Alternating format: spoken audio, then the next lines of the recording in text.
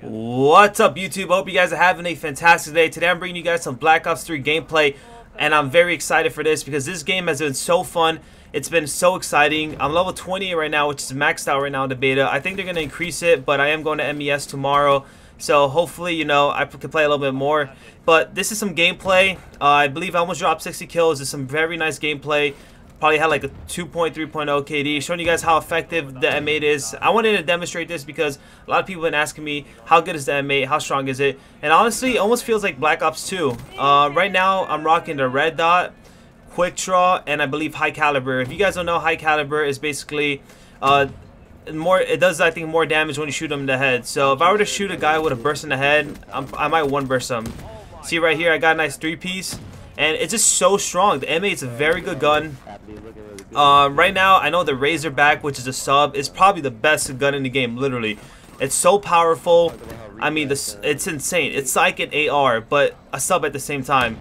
But obviously, we're not talking about that. We're talking about the M8 right now. And those are the three attachments I'm rocking. I'm, I'm going to say one more time in case you guys didn't hear me. Red dot, quick draw, and the high caliber. And for the people who don't know what high caliber does, is basically, like I said, does more damage to the head. Now, a reason I'm not rocking stock, and a huge, actually a huge reason, is because stock is so, so, so slow on the AR.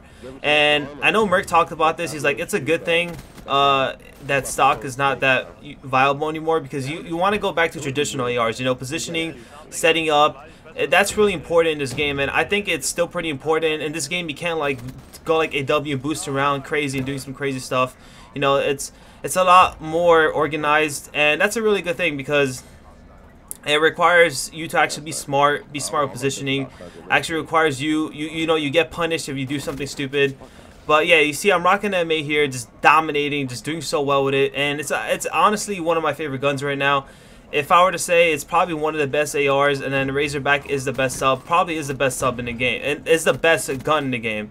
But you can see I'm just doing so well. And honestly, I love this game, man. Uh, right here, I'm using the... God, what's it called? I forgot it, man. Called it the bow and arrow. But I kind of sucked ass with it. Used it. I, I challenged like an idiot. But this game has been so fun, man. It's been so exciting. You know, honestly, I've just... I've been playing it non-stop. My fingers hurt. Like, they literally hurt. My pinky hurts. My thumb hurts from playing so much. You know, yesterday I started around 10:30 after a tournament, and I ended up playing till like six in the morning. I was streaming it, you know, through the whole way. And then today I woke up around 11:30. Uh, you know, showered, brushed my teeth, and got up back on around 12. And I and I was streaming from 12 to like 5. And then I decided to get off because we need to play some AW. You know, we need to practice and my hands were hurting pretty bad again. But it's just, it's so fun. Like, I want to continue playing. I remember yesterday I kept telling myself, you know, one more game. I kept telling my stream, one more game and I'm getting off. All right, after this game, I'm getting off. And I just kept going and going and going. And ended up playing like five more games. But it's just so fun, man. This is just the beta. I'm so excited for the future. I'm so excited for, you know, what's going to happen. And just playing this, like, this is fun. And I can just imagine competitive. Like, competitive you know, hardpoint 4v4 against really skilled players. Like, that's even more fun. So it's going to be insane, man. I'm so excited to be playing with whoever. Um, you know, you can't really play private matches right now, so it kind of sucks. But I've just been having a lot of fun. You know, I'm maxed out, like I said, in the pub. But the M8 has been so great. You know, I honestly, man, like, Let's see, what else? Um, the Havoc is not too good, or the HVK, whatever you want to call it. Some people like it, honestly, I don't like it too much. The Man of War, excuse me, the Man of War also has, like, it's really strong. It's more for stationary AR, but at the same time, still, you know, the, the fire rate is very, very, very slow. I know some people have been using rapid fire to increase it. I think it's probably really good with rapid fire. Like, it's actually pretty viable, but honestly, without rapid fire, unless you're you're like camping or playing really slow, it's I my, my in my opinion, it's not that good. You know, it's it's really it's a really slow AR. And then what else? You got the Sheiva or whatever you want to call it. That AR is really nice. It's a two bullet kill. I know if you put high caliber, which is attachment, increases damage on the head. It's supposed to be a one shot to the head, which kind of sounds OP'd. Um, it kind of reminds me of the FAL. It, like I said, it shoots it shoots like at the same fire rate, almost at the same fire rate, maybe like a tad bit slower, but it's almost not noticeable. And you know, it's very very strong. Honestly, love that gun. Um, I, don't know, like I'm still trying it out. I still need to unlock the high caliber, but every time I used it, it's very good. It's like a stationary AR, AR same thing. It's not that much more of a running gun. It's more positioning, getting in a head glitch or getting in a good position, and just picking people off across the map. And that's what it does really well. I can see it being used a lot in S&D, that's for sure. Because, you know, with that gun being so powerful, that gun being so strong, I could definitely see it, especially in S&D where it's a more slower pace and all that stuff. But and then the subs, the Viper or Vesper, whatever it's called. I don't remember the name right now. I can't, you know, think of it. But something with a V. That gun is kind of, kind of bad. Just because the fire rate is so fast that you literally empty your clip in like 1.5 seconds. Like your clip is completely gone. And you probably get a kill, only you only get like one kill with it, maybe two max, and then the recoil is terrible. So it's like it's not that viable right now. Like I, even if you attach stuff to it, because I, I was using no attachments, I still don't think it's gonna be that good to be honest. Like it has mm-hmm. insane fire. Like you can you can probably win almost any gunfight up close. Like think of it of as of I don't know, I can't think of a fast fire gun, but it just has a really insane fire rate, but the recoil is pretty bad. And you ran you only have 30 bullets, so the clip ends ends up going in like one second, 1.5 seconds. That clip is gone. So it's that's the only bad thing about it. And then the Kuda, I heard good things about it. I used it a little bit in the beginning of the game, but then I stopped using it.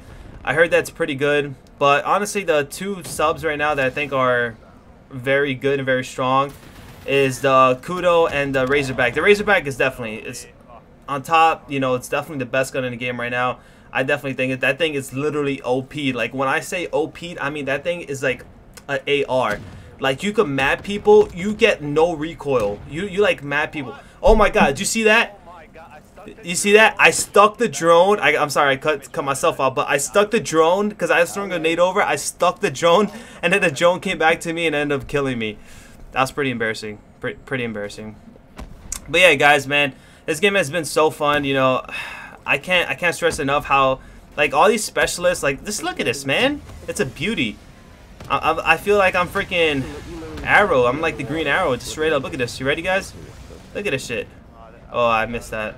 But yeah, it's been it's been a fun time. It's been very nice. That, but M8 has been definitely has been one of the best. Like I said, I haven't been releasing stock on my ARs just because I feel like it's not that good.